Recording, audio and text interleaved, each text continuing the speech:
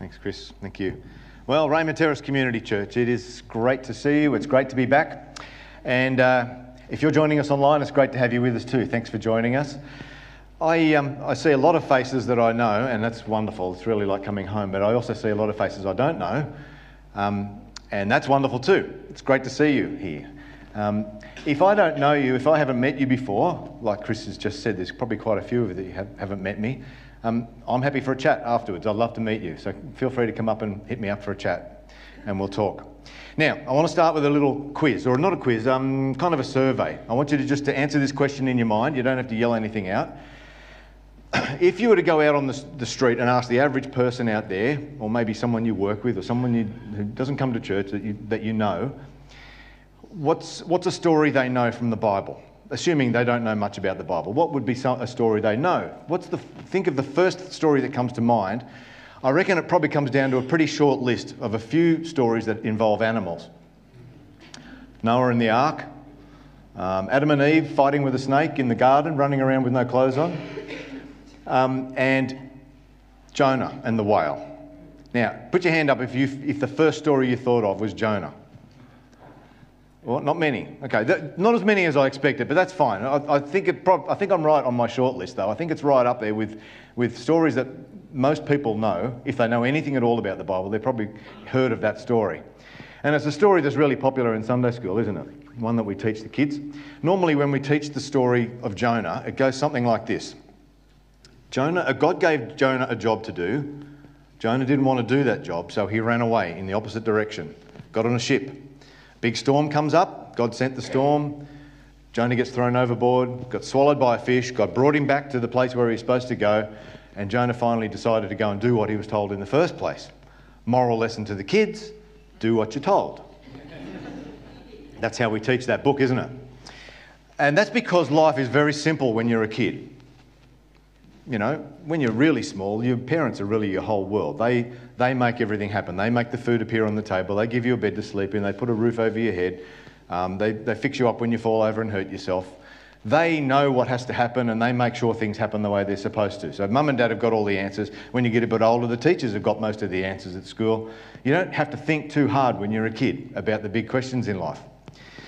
But growing up does involve wrestling with big questions, doesn't it? You can't get to adulthood and not think about some of the harder questions. Um, it does mean wrestling with hard questions. Questions like where did I come from? Why am I here? What's my purpose? Does God exist? Is there such a thing as ab- absolute right and wrong? Or is it just everybody make up their own as they feel like? Lots of hard questions you have to grapple with when you grow up, and normally that happens when you're a teenager. But there are some questions that we, we get to the end of our life and we still haven't quite got a handle on the right answer for it. So some of these questions linger and they, and they, they cause us stress through our lives, even as adults.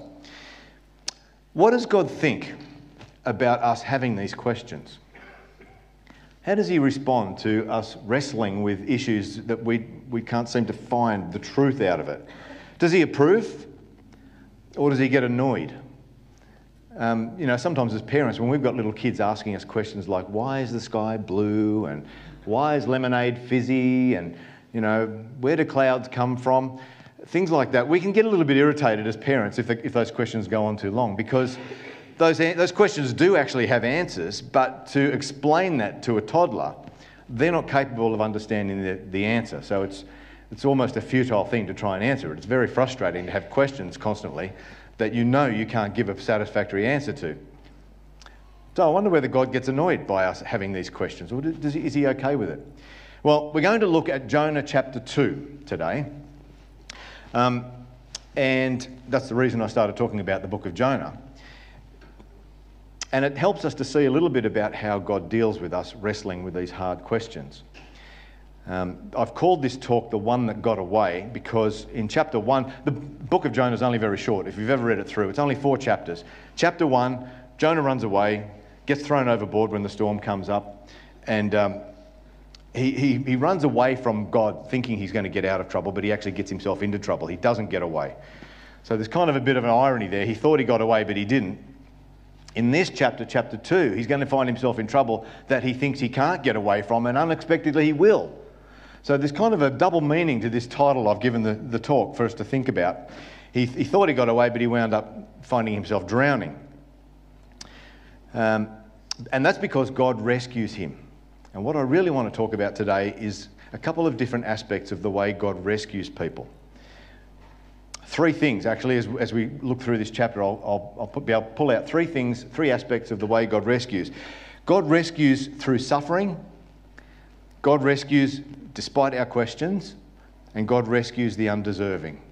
We're going to hit on all three of those as we, as we go through this chapter. So let me pray again briefly, and then we'll read the chapter together. Father, thank you uh, that your word speaks to us no matter how long ago it was written. No matter what the topic happens to be, it manages to speak to us. And we recognize that we are not the people you want us to be. We're not the people that we even want to be most of the time.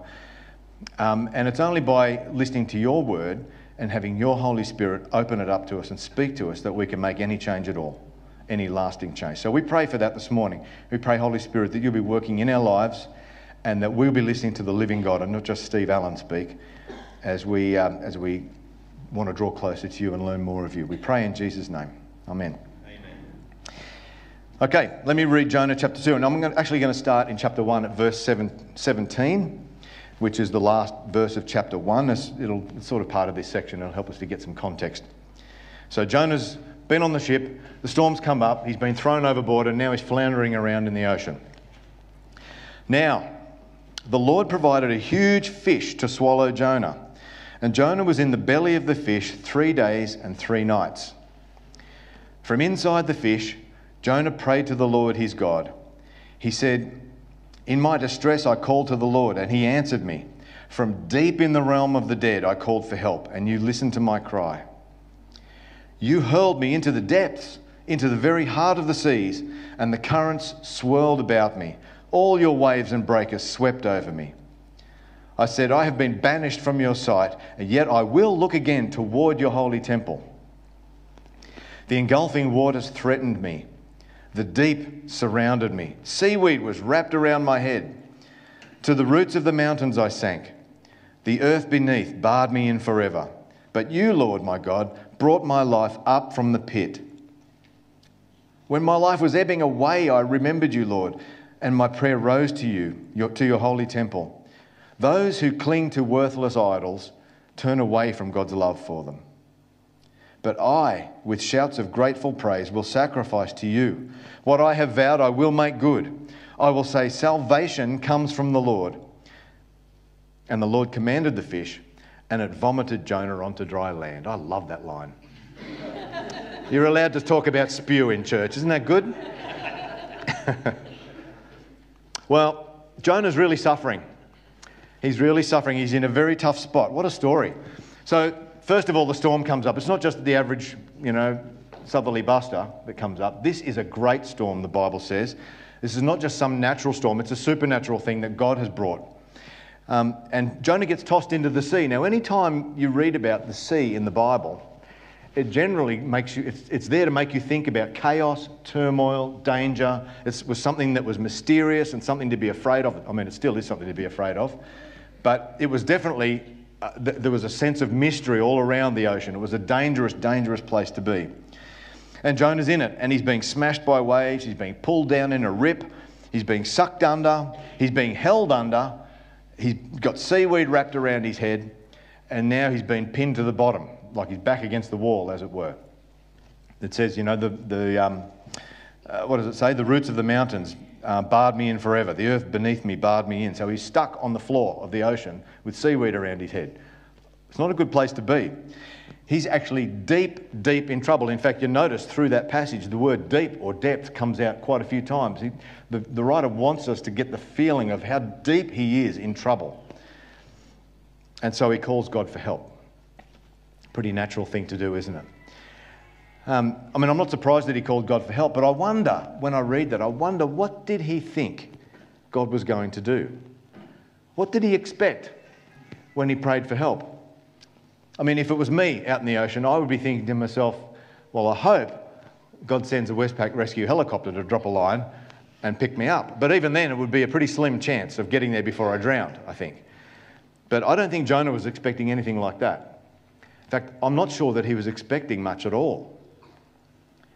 He certainly wasn't expecting to be swallowed by a fish. And if I was on the bottom of the ocean with seaweed wrapped around my head and I got swallowed by a fish, I would not see that as help. I would see that as going from the frying pan into the fire. It's just getting from bad to worse. You know, the thought of being swallowed by anything is not a good thing. But see, Jonah, at this point, Jonah does something that you and I probably wouldn't do. And I think it's about the only thing that he does right in the whole book. He recognizes God's hand of rescue in the fish swallowing him. That's bizarre. But I mean, it couldn't get any worse for him before that, I suppose, could it, really? Um, but he, he recognizes God's hand of rescue. So you see that in verses 6 and 9. Verse 6 says, But you, Lord, brought my, uh, Lord my God, brought my life up from the pit. It's not some random fish bringing my life up. This is God's work. This is God's doing, this fish coming along. But I, with shouts of grateful praise, will sacrifice to you what I have vowed I will make good. I will say, Salvation comes from the Lord, not from a fish, not from my own good luck. God is behind his rescue, and he recognizes that right here. So that's good. I wonder if you have ever felt like you were drowning. I mean, you probably, you might have even felt like you were literally drowning in the ocean, but I'm talking figuratively. I wonder if you have ever felt like you were drowning in life. Chances are you probably have. I think it's pretty rare for anybody to get to adulthood, certainly for anybody to get to my age, and not have experienced some sort of turmoil or chaos or trouble, something to be feared, something very uh, upsetting in their life. Sometimes things go sideways in our lives where we do need God to step in and do something, where we have no control, where we have no hope, no way of getting ourselves out of the situation. But the thing I get, and I think that's pretty common, I mean, we, it's obvious, isn't it? I mean, we look at our lives and we say, yeah, there are problems that we have that we need help with. But what I think we get from this chapter that's a little bit surprising is that sometimes God's rescue can take an unexpected form. Instead of God, see what he did with Jonah, instead of calming the storm, suddenly God, Jonah finds himself drowning. Instead of sending a helicopter, sometimes um, God, in this case, God sent something to swallow him whole, and that was the rescue. Sometimes the rescue is in the vomit. Sometimes it is. I wonder if you remember a few years ago, there was a news story about um, a soccer team in Thailand, a boys' soccer team that got stuck in the caves. Do you remember that when the, they were getting flooded in and they couldn't get themselves out? That was, a, that, was, that was a really dramatic news story. The whole world was watching to see what was going to happen, and these poor kids were stuck in the cave. They had no light, or very little light, I think. They had no, uh, no, very little water, no food. Only half of them could swim. They had no way of getting themselves out. Um, and when the rescuers finally got in there to find them, the kids had to be willing to trust them enough to be sedated and be carried out through the twists and turns in all the caves. It was very complex, very dangerous, very scary, even for the rescuers. Um, it was a difficult rescue. But see, that difficult, scary process was the rescue. It was the rescue. And for Jonah, the fish was the rescue. Sometimes for us, the suffering is the rescue. It might not seem like it at the time. We might not want to, we might not even want to acknowledge it at the time because the suffering is so bad. All we want is to be picked up by the rescue helicopter. We want the easy way, but sometimes it's not going to be simple. It's the same for us. Some of the suffering we face, some of it's self-inflicted, right? That's true. Some of some we just do stupid things and we cause our own problems. Um, that's that's one part of our suffering, but some of our suffering is suffering that God allows to come our way, and it's, He allows us to go through it because it actually is His means of rescuing from something worse or something else. So, point number one remember, if, God, if our hearts are turned towards God, like Jonah's was, if, he's turned, if our hearts are turned towards Him, God is acting for our good, even when we can't understand it. Sometimes God rescues through suffering. That's number one. Okay, number two. God also rescues us sometimes when we have questions. Now, this, this gets back to the, question, the, the point that I was making at the very beginning how um, we have questions that we struggle with, and Jonah had questions. So, ask yourself, why was Jonah in this predicament in the first place? How did he find himself drowning in the ocean? Well, the storm that came was God's response to Jonah running away from what he was told to do, wasn't it? Why was Jonah running? That's a question that we need to ask ourselves. I think there's a couple of reasons. Firstly, the mission itself. God asked him to go to a city called Nineveh. And if you know anything about Nineveh, you'll know that it was the capital of Assyria. Assyria was the dominant empire of the world. It was like the Roman Empire, only earlier. And the Assyrian Empire was known for its brutality. They would conquer nations all around them and they would inflict all sorts of war crimes and atrocities on the people around them. Dreadful, dreadful things. And I would say the first reason Jonah didn't want to go is because he was terrified. And I think that's how I would be. If somebody asked me to go to the Taliban and tell them, God's going to punish you for what you're doing, um, so look out, I would be terrified to do that too. Yeah. Thankfully, God hasn't asked me to do that.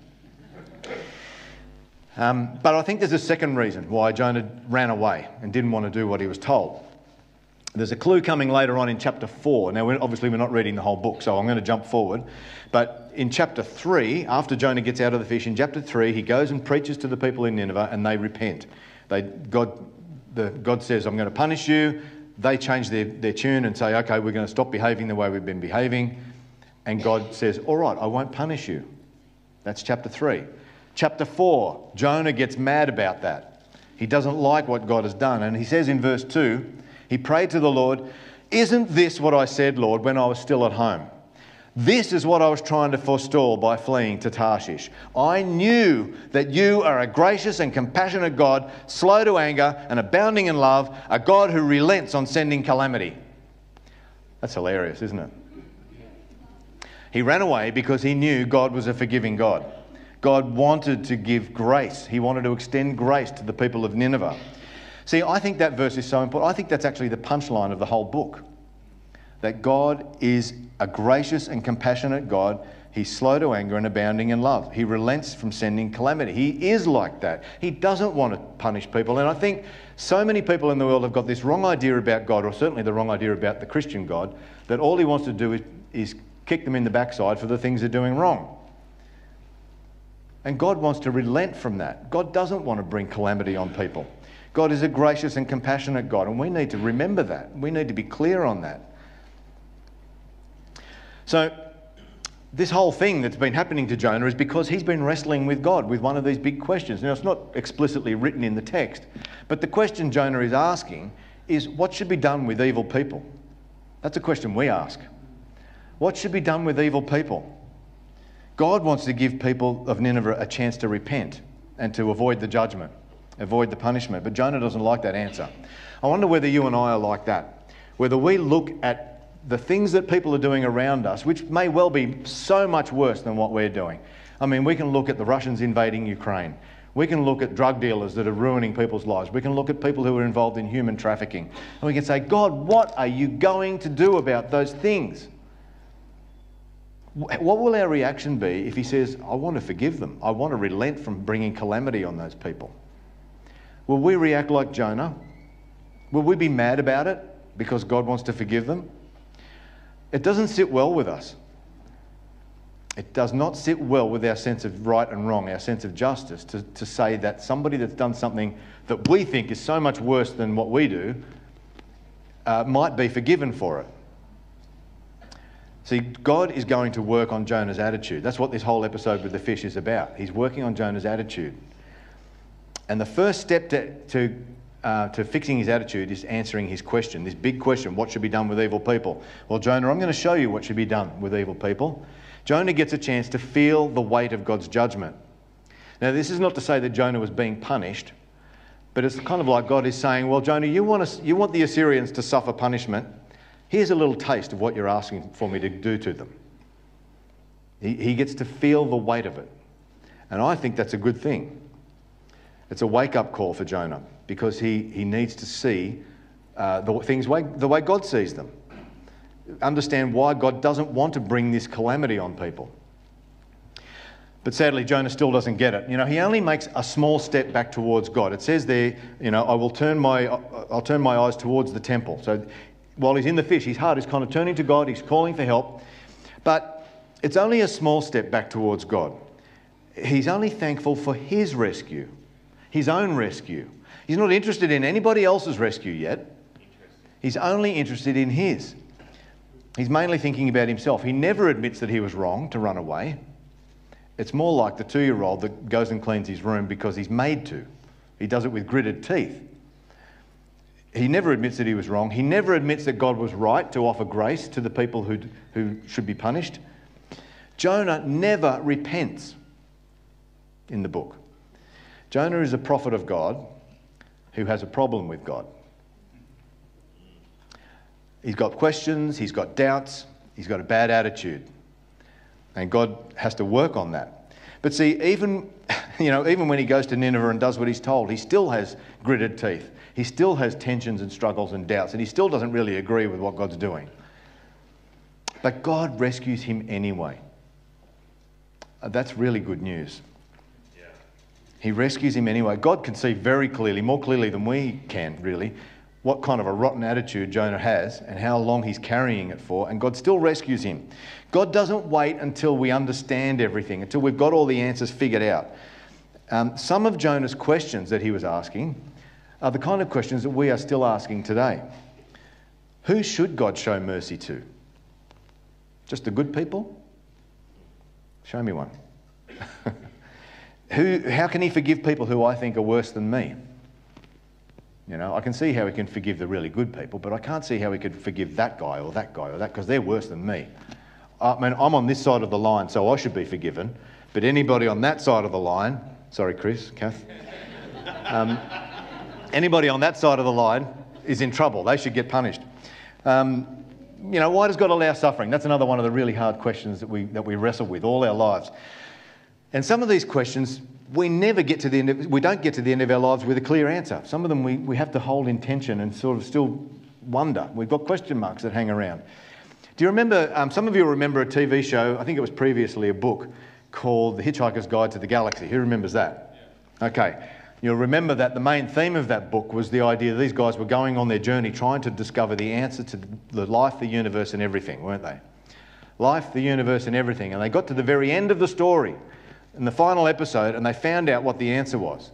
The answer to life, the universe, and everything was 42.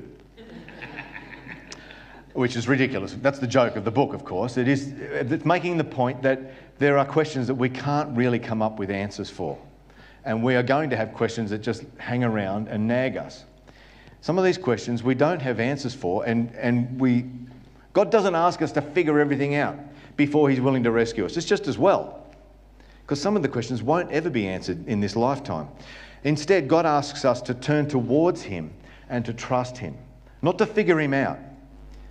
His rescue doesn't depend on our answers, and I'm pleased about that.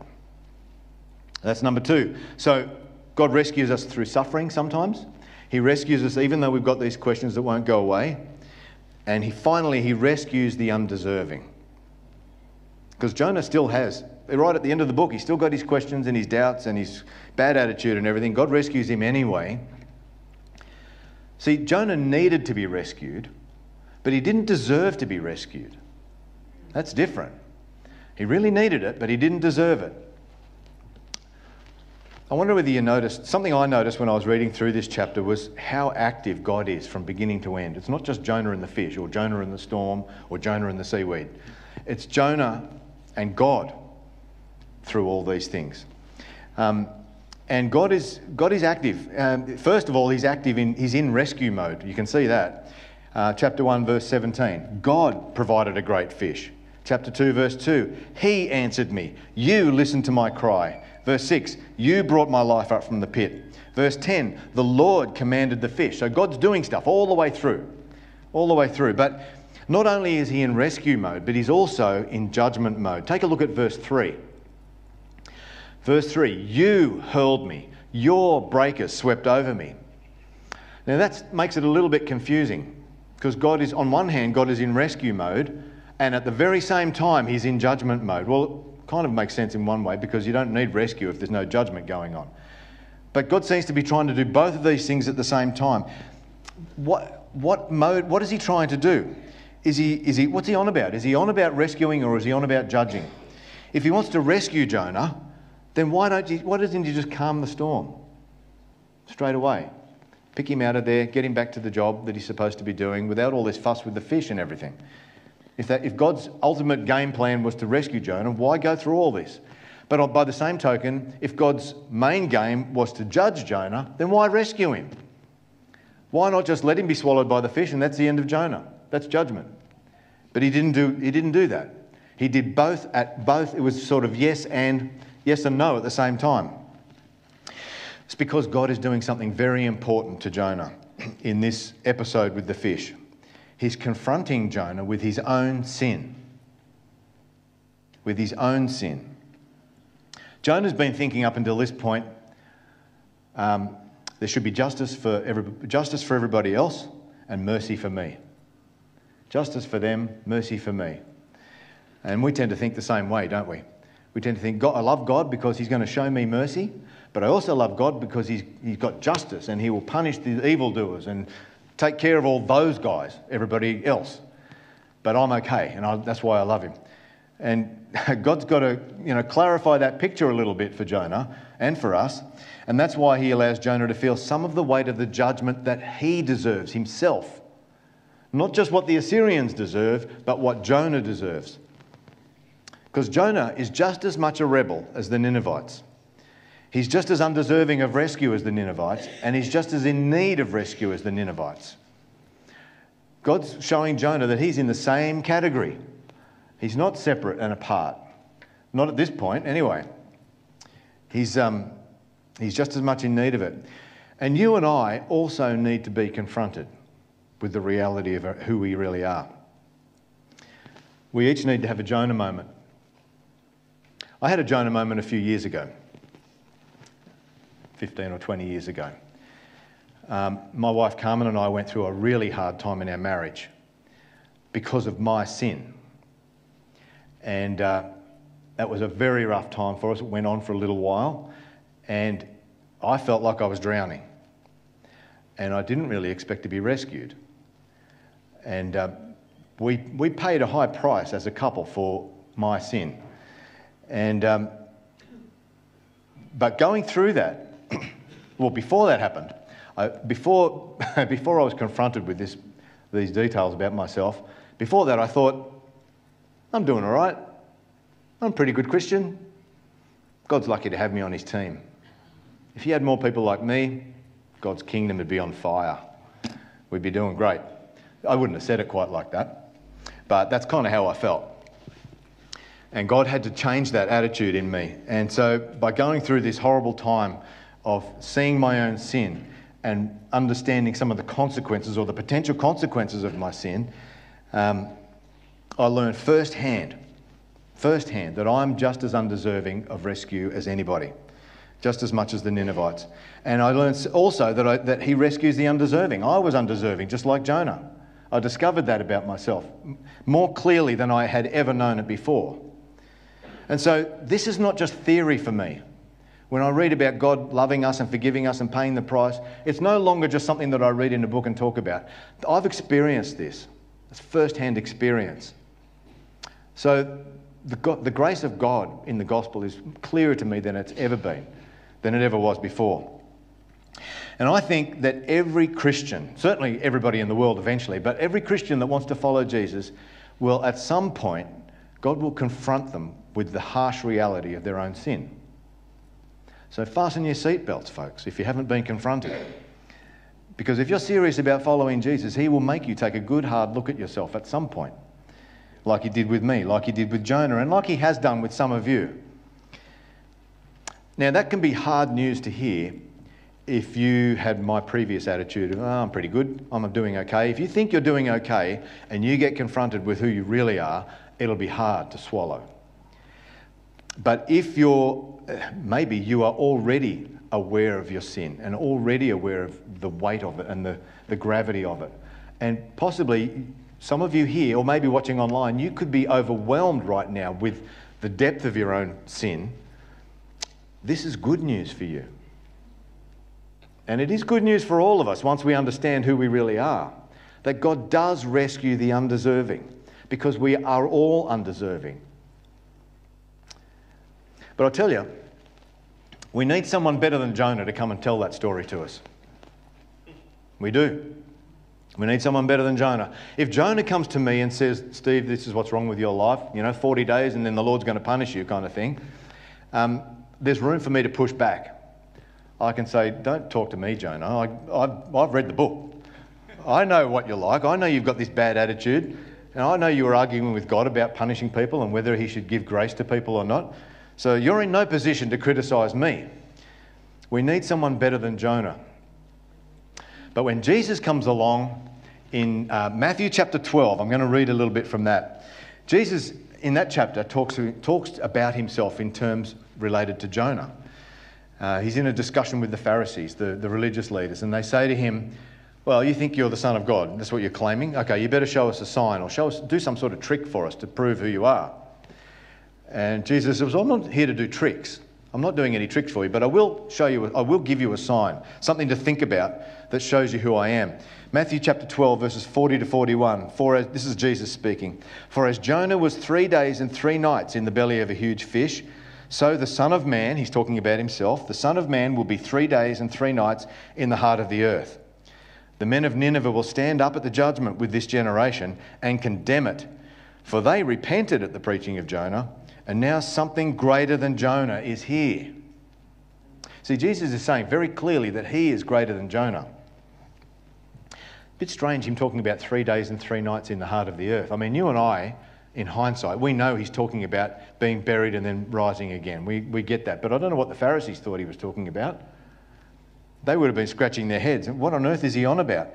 How on earth can he be greater than Jonah? Jonah was someone that God used. I mean, we look at Jonah and think he wasn't that great. The bar wasn't very high, really. But um, the Pharisees would have looked back at Jonah, and he was a prophet. He had a book in the Old Testament, and he, God had used him to turn the Assyrians to repentance. It was a, he was a prophet, a great thing.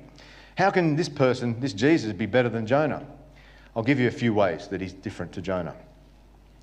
Jonah moved away from God to avoid God's call on his life. Jesus left heaven to, to carry out God's call, to fulfill God's call. It's the opposite to Jonah. Jonah was hurled into a storm of his own making and then rescued. Jesus was hurled into a storm of my making and he was left there to die. Jonah had a taste of judgment, he just felt the weight of it. Jesus experienced the full force of God's judgment. Jonah came out of the whale and still had his job to do. Jesus came out of the grave and it was mission accomplished. Yeah. That's it. Jonah was motivated by fear and obligation, like the two year old cleaning his room. Jesus was motivated by love, something far stronger. Jesus is the better Jonah. He is. So when he challenges me about my sin, it's much harder to push back. The ultimate statement from God about the reality of our sin is the cross. If you want to know what your sin really looks like to God, look at the cross. It cost Jesus far more than words to express the seriousness of our sin. It cost him his life. He rescues the undeserving, the Jonahs, the Ninevites, the Peters, the Pauls, the Davids, the Steves of this world, and the only thing he stands to gain out of it is us a relationship with us that isn't possible, for, isn't possible at all if we're running away from Him.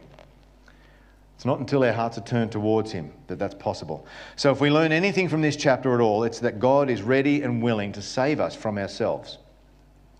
Even though we're undeserving, even though we're wrestling with questions and unresolved doubts, and even though our rescue sometimes involves suffering. The ultimate rescue from the ultimate problem involved Jesus facing the ultimate suffering in our place. If we can only see that, then we'll be able to turn to Him and trust Him in those times when we feel like we're drowning. Sometimes the rescue will be quick and easy.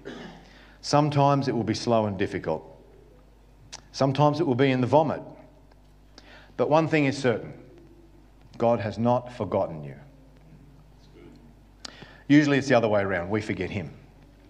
And that's why we come to the table week after week or month after month, depending on your tradition. The table, communion, helps us to remember what Jesus did. And so we're going to gather around the table shortly. Let me pray, and then I'll hand over to others to, to lead that. Father, thank you that um, a book that was written so long ago and on the surface seems quite simple has so many layers in it that can speak to our lives for those of us that are suffering. I pray that you would help us to turn to you and trust you even when it seems like it's impossible, when it's difficult and scary. Help us to hand our lives and our situations over to you and to know that you have our best interests at heart if we're trusting you, if we're turned towards you. For those of us that have questions, Lord, I pray that you would help us to be willing to trust you and turn to you even when the questions haven't been answered, even when they may never be answered. Lord, when we feel like we're undeserving or when we are starting to realize that we are undeserving, Lord, I pray that you would help us to um, understand the, the price that was paid that allows you to have a relationship with us even though we are undeserving.